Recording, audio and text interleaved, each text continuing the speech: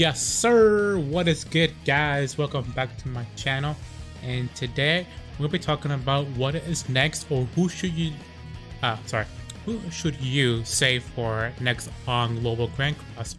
So, as you can see, we just got is the red uh, Deldery, and also we got the blue Elizabeth this week. So it pretty much is uh, this blue Elizabeth is pretty good. Um, she's not a muscle unit, but she's like a cheesy, a really, really cheese character. The reason why she's used for is because of her uh, passive, which is remove all allies debuffs and heal their HP, and also fills ultimate gauge by two when they when they hero when this one dies, pretty much. So that's really good.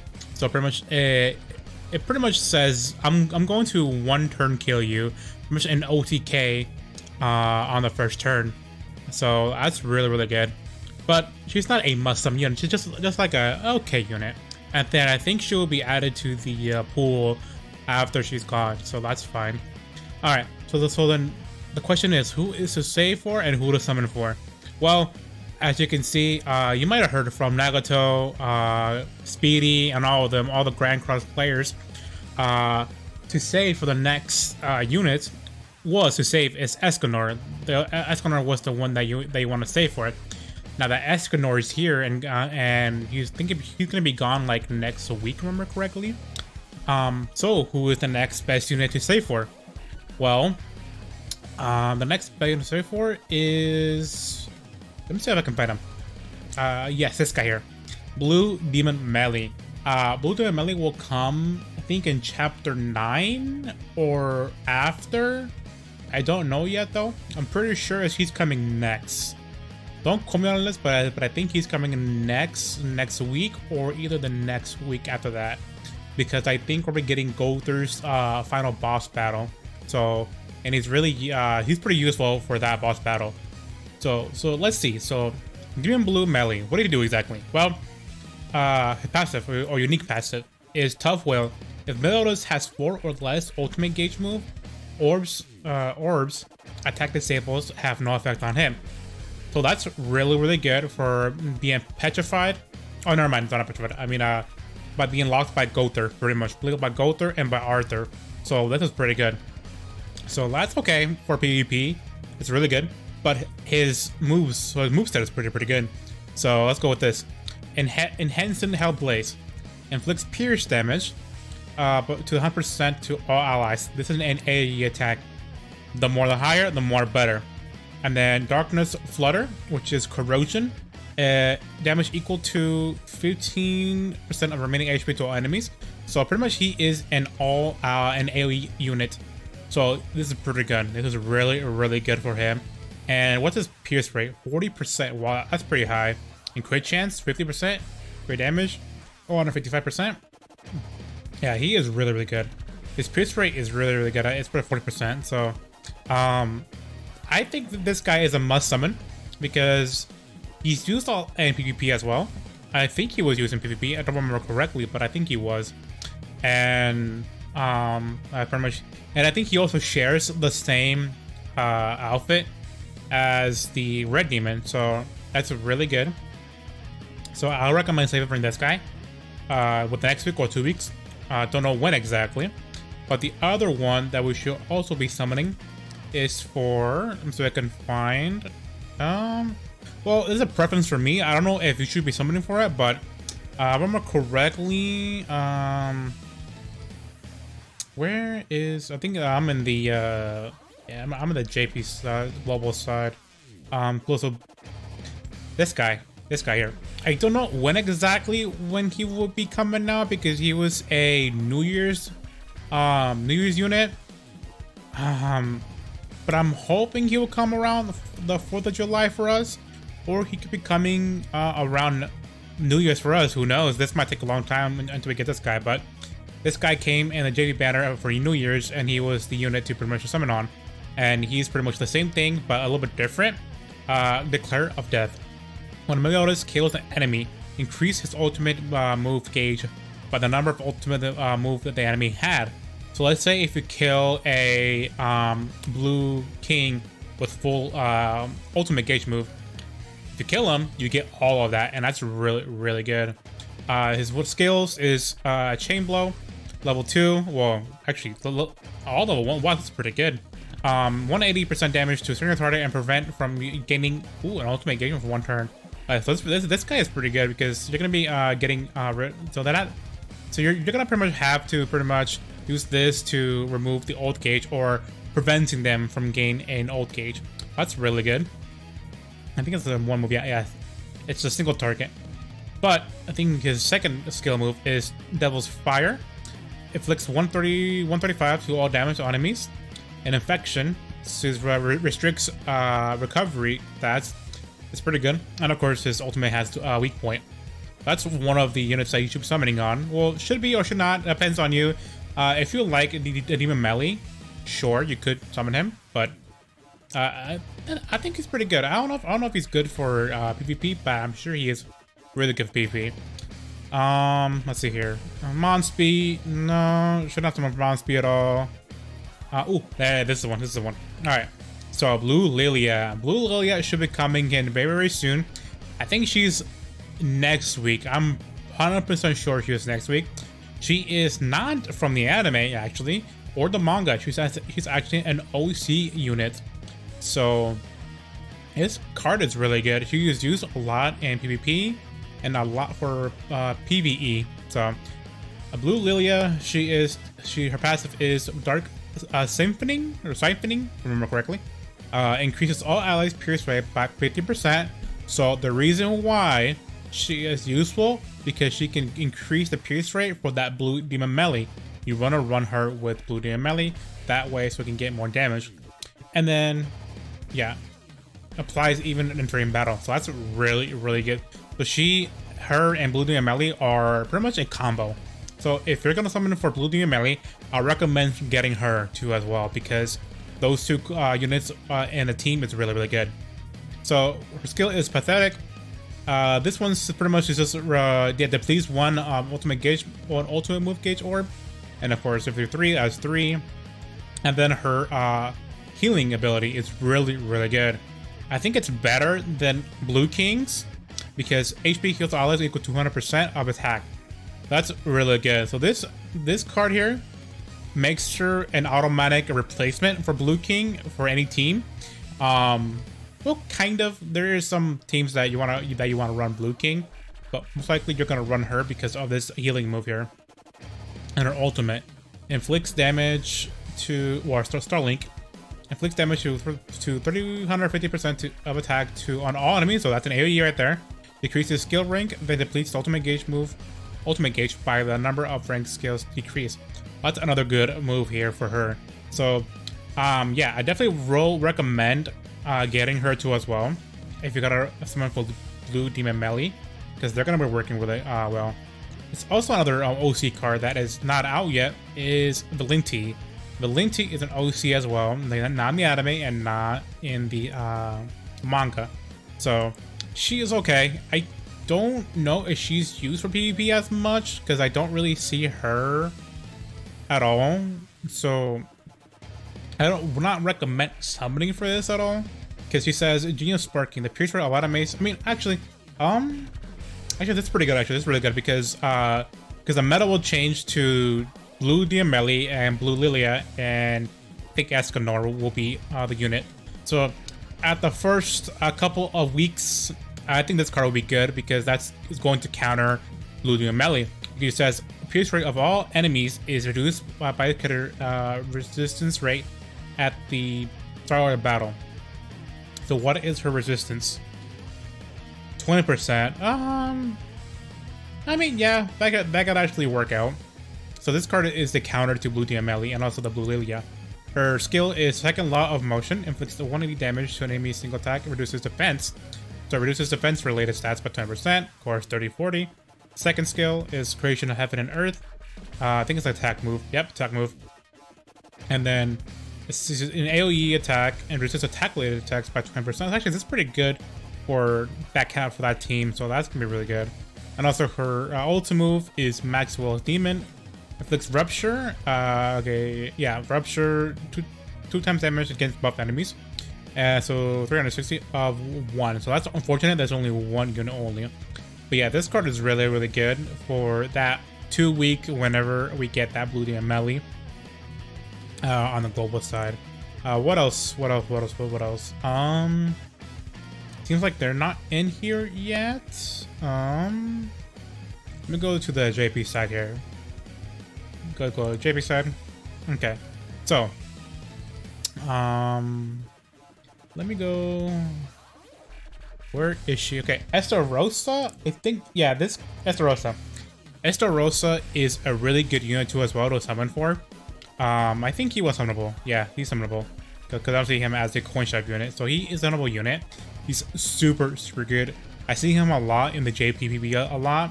Uh, so what he does is inflict charge, so that ignores, yeah, ignores defense. That's super good.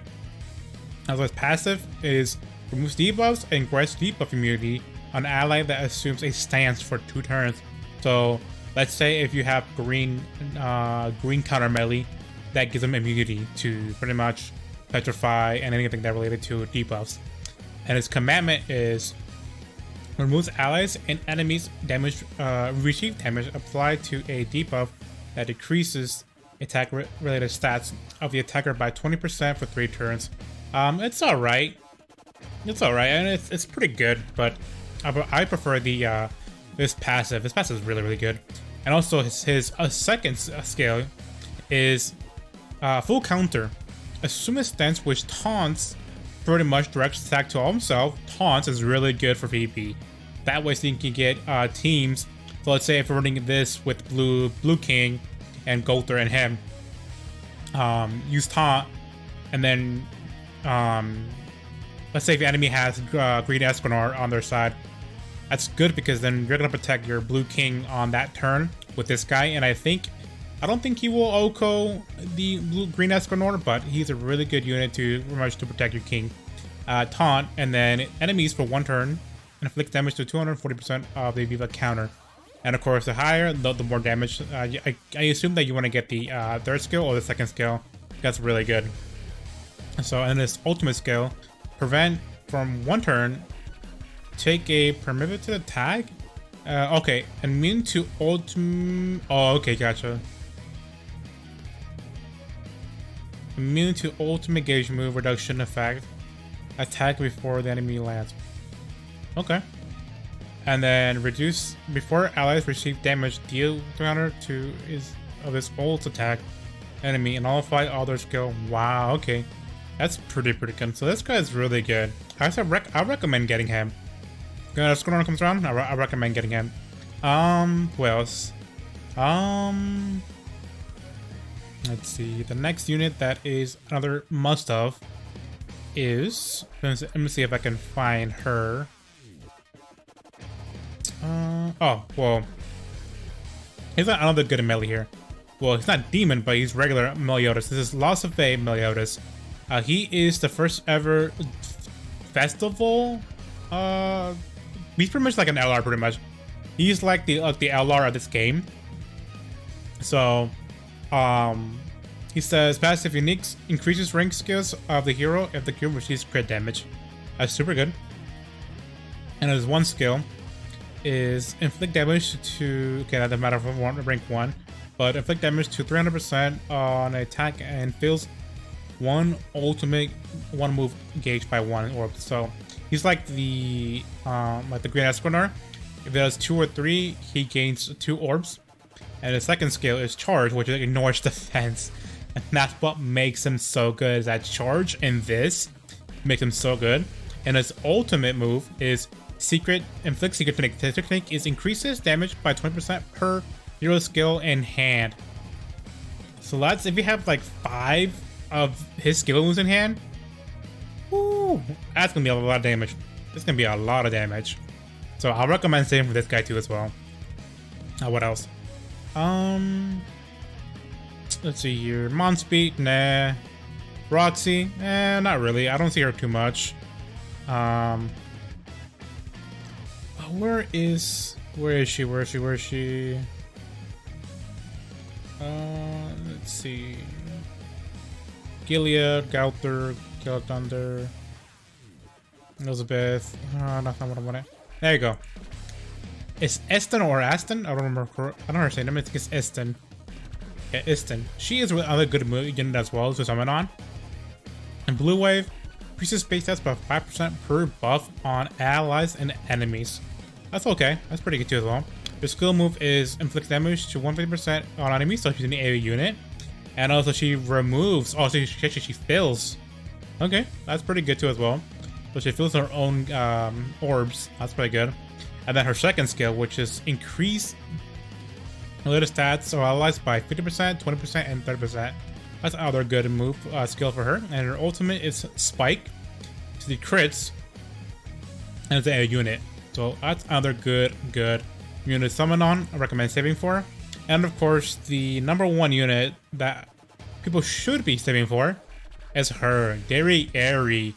Derieri is actually one of the best units in the game, along with Gowther and Escanor. She is pretty good. So, what she says, or what she, what she do, is that her passive skill. Increase attack by 10% when the hero uses a skill. Alright. The buff goes away when no skills are used on the turn. Alright. And the commitment is decrease the damage dealt by range attacks of, of allies, enemy, and PvP by 35%. Okay, uh, okay. And then her scales, Darkness Hand, um, that's pretty good. 240 damage on, on the first skill. Damn, that's pretty good. And then of course 360 and 600. And then her her best, best, best scale move is Injection. The rumor says is increase space stats by 20% for two turns. And then as you rank it up, 30%, and then evades attack for one turn. And if we go a third, 50% in three turns, and you get evade for one attack. Then her ultimate move is pretty, pretty good. Inflicts amplified damage, so uh, damage done by 30% per buff on itself.